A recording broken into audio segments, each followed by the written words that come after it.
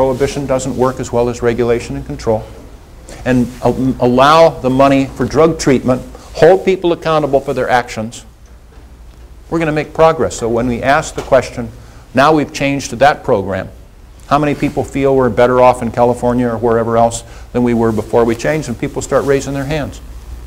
So I'm going to leave you with a story. A man was on his deathbed, very end of his life, called his wife to his side and said, Well, dear, I know I'm not long for this earth, but before I leave you, I just have to get something off my chest. For numbers of years now, I've been having an affair with such and such a woman that lives around the block. And I don't, again, I don't mean to hurt your feelings, but I think you had a right to hear this and hear it from me. She looked at him. She thought for a moment. Then she said, That's okay. I know. That's why I poisoned you.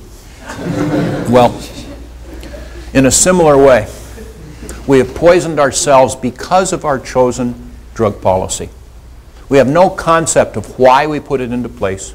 We have almost no concept of the harms that it itself is visiting upon us and our people. In fact, I can go on and tell you individual stories that just, just don't work. Mandatory minimum sentencing and, and mothers and their children and all the rest of this stuff. I see that in our court all the time, in juvenile court, in probate court, certainly in criminal and civil. There's got to be a better way. There is a better way. Let's all work to find it. And a good place to start will be this coming November. Because when we finally treat marijuana like alcohol, I'm convinced that the Obama administration, which by the way honored the concept of federalism with regard to medical marijuana, where of course the supposedly conservative George W. Bush administration ignored it. The very liberal Obama administration honored it. Figure that one out. But it's working. So they said, as long as you are within state and local law, the federal government's not going to harass you, not going to investigate you or prosecute you. And the same thing's going to happen when we finally pass this initiative in November.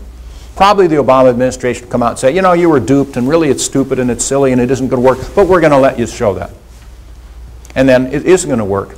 It is going to be better, certainly less harmful, and other states are going to start following us along. This is the beginning of the end of drug prohibition. And of course, if you don't think the Prison Guards Union knows that, you better look again. We need you. We need your thoughts. We need your activity. So I appreciate the opportunity to speak with you. I'll be the last one out the door. If you have other questions, I'd be happy to talk with you. You have your group called Students for a Sensible Drug Policy. These groups are important. You know, whatever your issues are, talk about them. Be involved with them. Learn about them. Give and take and good luck to us all. Thank you so much.